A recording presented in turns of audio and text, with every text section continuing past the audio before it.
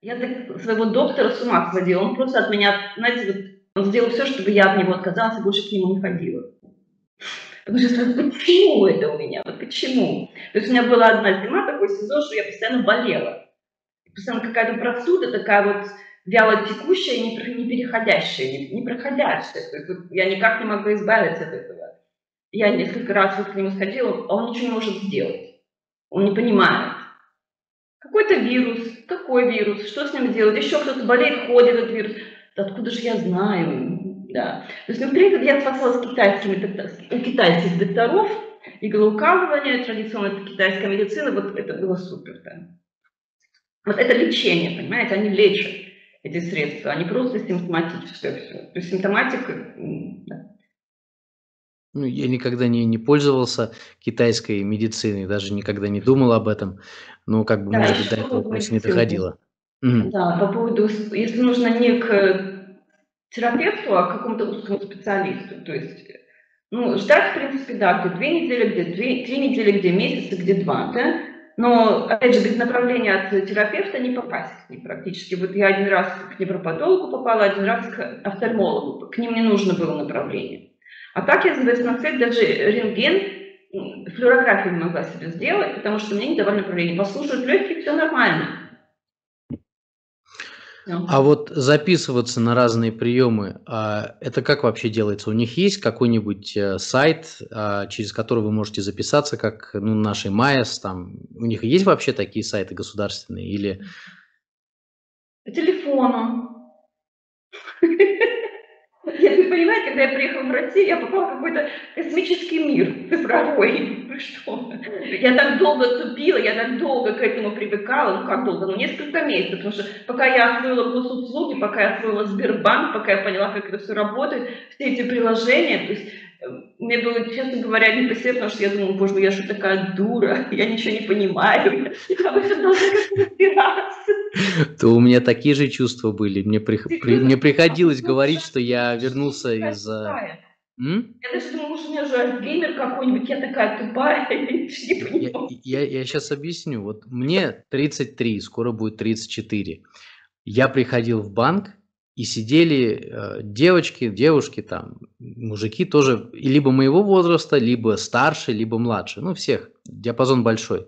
Я себя чувствовал полным идиотом, потому что после Канады наша, да, наша банковская система, особенно Сбербанк, это да. просто космическое чудо, которое нам принесли инопланетяне какие-то. Да. Вообще все, что угодно регистрируешь, что там мы регистрировали автомобиль, тоже через веб-сайт, все через сайт, медицина, все, все, все, то есть заходишь быстренько через все приложения, все работает, все шикарно, это просто космос. Ну да, вот я как раз, когда пришел в Сбербанк, мне нужно было открыть счет э, в долларах, а, в евро, в евро. Я не знал, как это сделать. Я думал, хорошо, я пойду в Сбербанк, я там с ними должен поговорить, может быть, подписать какие-то бумаги. Я пришел, Девушка э, попросила мне открыть мое приложение Сбербанка. И за три секунды мне открыла счет. И просто вернула телефон и сказала все. А я думаю, блин, ну мне им что, нужно объяснять, что я не, я не тупой человек, я просто жил очень долго на Западе, и там всего этого просто... У меня ну, не то, что нет, а на плохом уровне. Да. Такая Мне ситуация. пришлось это объяснять, что это, ну, я не дура. Покупали дом, нужно было оформлять договор на газ, на электричество, на воду, вот это все это отдельно. Как раз в ДНС, по-моему, были. И я подошла, значит, на очередь, я с этой дамой общаюсь, клерком, она мне говорит, что она со мной разговаривает так, как будто я, я уже должна много чего знать, просто там что-то дооформить. А она мне что-то говорит, а я не понимаю, я смотрю на нее как баран на новые ворота. Она психанула. Вот единственный раз, когда мне со мной как-то ну, не очень вежливо поговорили. Да, то есть она психанула, что там выдала. Я понимаю, почему она психанула. Я говорю, понимаете, я просто в России не жила 25 лет, поэтому я не знаю. Она посмотрела мне, и давай как ребенку все с самого начала спокойно разошло. А я, кстати, заметил, я именно вот этим трюком пользуюсь. То есть, когда я сталкиваюсь с какими-то ситуациями, я не могу что-нибудь, э, что-либо сделать, я просто говорю, извините, пожалуйста, я вообще ничего не знаю про этот процесс, я долго жил за границей, можете мне, пожалуйста, объяснить. И тогда, и да. тогда сразу улыбочка появляется, и начинают объяснять, и уже ведут меня за руку, как младенца. Иначе смотрят на тебя, как будто, может, в больничку пора уже. Да-да-да-да-да. Да, ну сейчас, конечно, все более-менее нормально ладно. Э, освоила я все эти гаджеты, в смысле приложения электронные. А, я, я, я думала, что это я одна такая тупила вообще. Но у меня муж молодец, он сам все это осваивает. Вы не представляете, какой молодец. Он все эти приложения осваивает, он их переводит с русского на английский. Многие приложения на, на, обоих, на, на двух языках или какие-то там службы, платформы. Он молодец. Он, он быстрее меня все это схватывает и соображает. Я как-то да. Ну, я думаю, потому что ему нужно это делать, потому что он, он как хорошо он разговаривает на русском языке. Ну, разговаривает он плохо, потому mm. что он не хочет учить грамматику. А понимает, у него огромный словарный запас, он понимает э, очень много чего. Ну и говорит, там уже лепит, как слова получатся там. Ну, его все понимают. Mm. Ну, ну хорошо, ему-то нужно учиться, а э, вот вы и я, мы уже знаем язык, и мы просто, не то чтобы нам лень, а мы просто не ожи... мы, мы не внедряемся в эту систему так активно, Нет, как... просто, понимаете, это такой, об, новый, такой объем новой информации, угу. чтобы ее освоить, нужно время. Конечно. То есть они э, здесь вот русские живут, и мы, они постепенно это осваивают. То есть что-то поступило новое, быстренько, быстренько освоили. А мы приезжаем, и у нас вот это как свалилось все, вау. Хорошо, давайте, прежде чем мы перейдем на тему, почему вы переехали, у меня такой вот вопрос насчет еды. Я люблю задавать этот вопрос. А, насколько еда вкусная или безвкусная в Южной, в Южной Африканской Республике? Можете, пожалуйста, рассказать? Ну, продукты до сих пор там хорошего качества, угу. в среднем. Ну, я не могу... Но они всегда одинакового качества. То есть бывают в сезон неплохие фрукты, так фрукты деревянные, конечно. Изредка фрукты вообще не очень мне нравятся. Хотя страна благополучна, с таким климатом, но, видимо, этот промышленный процесс выращивания фруктов, эм, да, они не очень. Вот овощи неплохие, молочные продукты хорошие, очень. Мясные так себе. Они неплохого качества, но не такие вкусные. То есть вот мы сюда приехали, здесь мясо вкусное. Вкусное, но вкусное. Понимаете, кубанские тут овощи, фрукты, просто прелесть. Согласен. Да, да, да. Вот, да, очень вкусно. Да, даже сейчас вот тепличные помидоры, они прям сладкие. Mm-hmm. Клубника уже сладкая. Ну, это здесь, да, не знаю. Mm-hmm. А вот, продукты там, в принципе, в принципе, в целом неплохие можно, ну, можно не жаловаться, и фермеры, фермеры белорусские, они очень гордятся тем, что они делают. Понимаете, они любят свою работу, они гордятся этим, они стараются выращивать продукты хорошего качества. Но почему еще проблема? Они экспортируют очень много. То есть фрукты белорусские, ну, наверное, процентов 80 уходят на экспорт. Даже здесь они есть. Поэтому, наверное, то, что похуже, остается в стране. Опять же, эм, стали внедрять очень много ГМО, к сожалению. Вот так э, один регион, там был достаточно большой регион, где было развито пчеловодство. Ну, видимо, потому что какая-то флора была определенная. И там засадили огромные поля рапса и погубили всех пчел. Пчелы погибли. Вот была такая проблема. Вот так, в принципе, продукт хороший, вина шикарные, сыры шикарные. Ну, я не знаю, как долго все это у них продлится, потому что, представьте, все эти винные фермы, там молочные хозяйства, то есть они сейчас ничего не стоят, их невозможно продать. Именно потому что фермеры, фермеров убивают, их сгоняются из земель, э, принят закон о национализации земли. То есть вот эти вот огромные винные фермы, которые стоили очень много миллионов с этими поместьями, прям, ну, и дизайн, и дизайн ландшафтный, там, и все, и где-то гостиницы у них там есть, э, рекреационные такие вот условия созданы на них. Эм, их невозможно продать. То есть люди там живут до последнего, живут в страхе, конечно, но их невозможно продать. То есть э, я не знаю, как, опять же, была то засуха, у них там была жуткая. О, про засуху, вот это вот очень интересно рассказать, потому что это был такой опыт, которого, наверное, вот, э, ну, практически нигде в мире не было. Говорят, только в Индии такой был опыт. Несколько лет назад, если это интересно. Как мы переживали засуху. Когда интересно. наш город был на грани остаться без воды совсем. Вот совсем.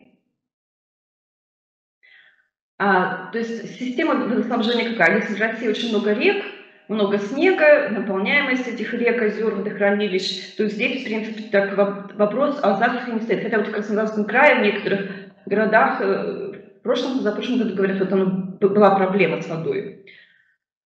Ну и вот что случилось в провинции Западный Кейп, конкретно, где мы жили в Кейптауне, там система водоснабжения идет из водохранилища. Они строят водохранилище, то есть за зиму, там, например, сезон дождей, там зимой. За зиму наполняется водохранилище, и остальное время года город и вся провинция снабжается этой водой. И тут вот несколько лет подряд зимой было мало дождей. И мы приходим к тому, что лето заканчивается, нет, зима закончилась, начинается лето, наполняемость водохранилища 40%. То есть это очень мало. Вводятся ограничения на полив, там нельзя мыть машины и так далее. Очень сильные ограничения. Потом второй год опять у нас еще меньше воды мы закончили. То есть зима опять была без дождей практически.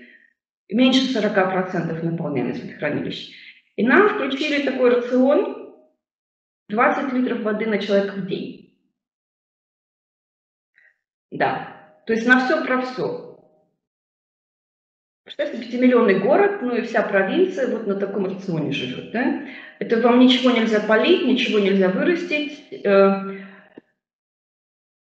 нужно же стирать и мыть и так далее. То есть 20 литров воды и душ нужен, и все. И 20 литров воды в день на человека – это вообще ни о чем. Что мы стали делать? То есть маш...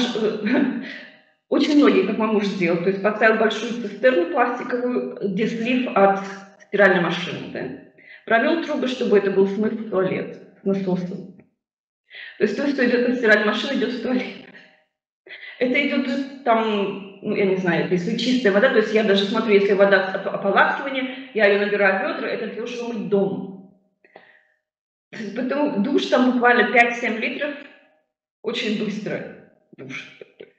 Ну, в общем, мы шли к тому, что через две недели вот у нас уже не будет воды в кранах вообще, а наше правительство строило такие водоснабжающие станции, какие-то участки по городу, куда нужно будет приходить с ведром за водой. Потом а, а, построили парочку опреснительных заводов для центра города, только потому что там центр города, там а, не частный сектор, многоэтажные дома, там люди просто не могут сделать себе систему сохранения воды какие-то, никакие. И воду накачать наверх невозможно, поэтому, чтобы у них хотя бы какая-то вода была, там построили опреснители. Но опять же, невозможно сразу на всю провинцию построить достаточно опреснительных станций. Это дорого и просто и не быстро. Но потом каким-то волшебным образом сменили мэра города, и мы дотянули до первых дождей. То есть вас, вас просто спасли первые дожди? Да. В принципе. Угу. Ну, правительство хоть что-то пыталось вроде бы сделать, ну, то, что было в их, в их силах экономических. Ну, вот построили, ну, я даже не знаю, вот опреснители построили центр города, но, по-моему, это сложились отели, потому что центр города – это центр туризма.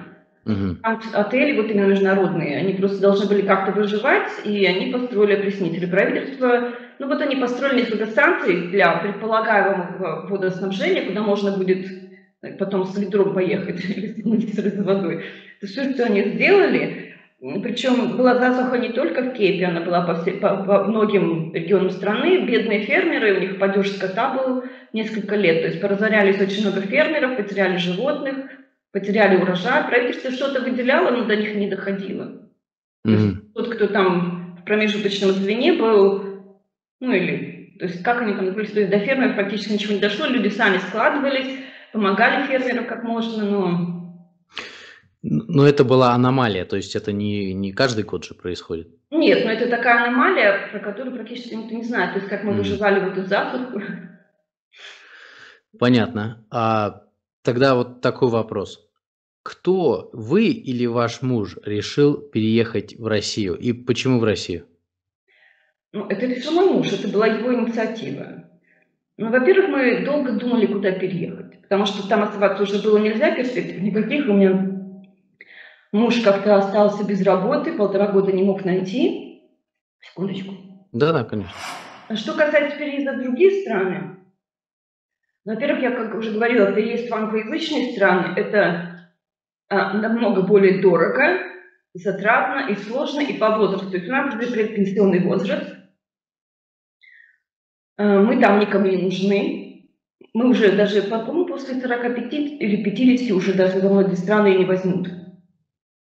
Ну там, там нужно определенные баллы выбирать. Странах, что? Там нужно определенные баллы набирать, чтобы пройти иммиграцию. И чем старше человек, тем меньше баллов он получает да, обычно. Да. Нет, в Австралию попасть после 50 просто нереально.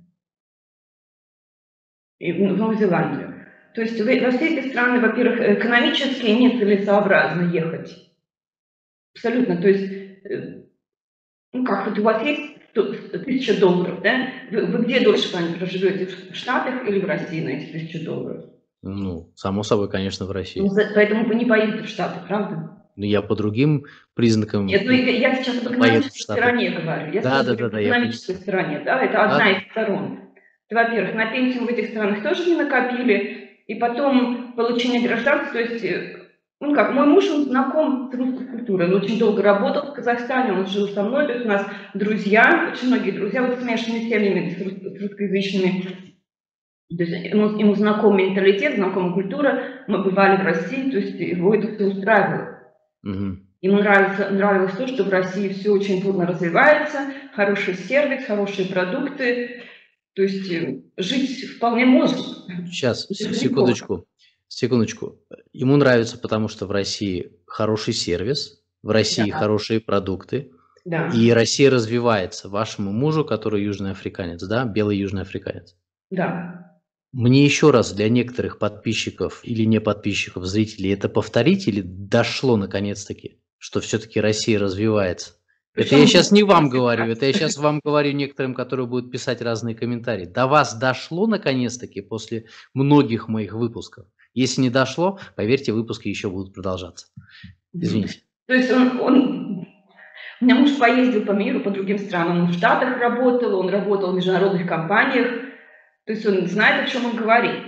Понимаете?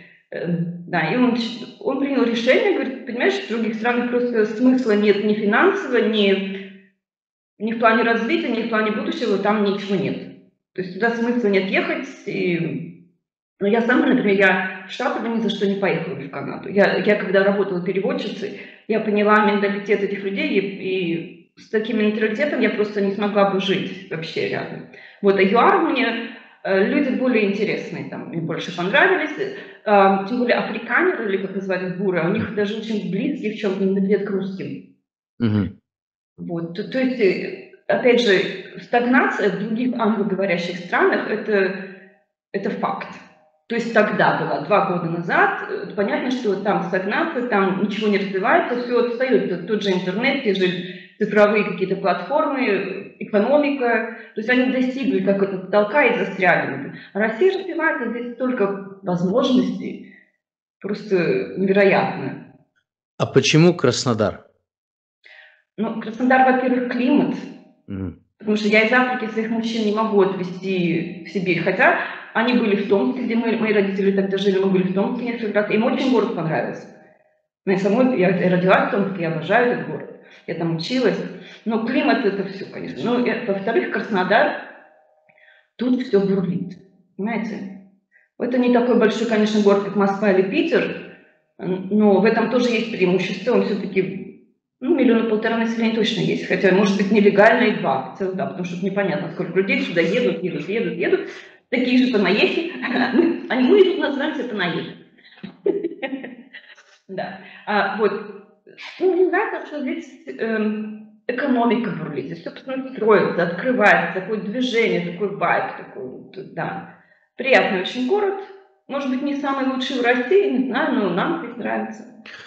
Я люблю слышать вот такие отзывы про другие города о России, потому что я реально, я вот хочу, чтобы другие города также развивались, а, потому что чем больше наши средние, малые, там, большие города будут развиваться, тем лучше будет всем. И я понимаю, что у государства есть какая-то своя программа, где они а, создают конкуренцию между разными регионами вроде бы, И только так вот из-за этой конкуренции мы сможем поднять нашу, ну, помимо других тоже методов, мы сможем поднять нашу страну на тот уровень, и, на который мы хотим. Хотя люди, та, та, человек такое существо, что мы всегда не рады всему, даже если мы богатые, здоровые и, и все.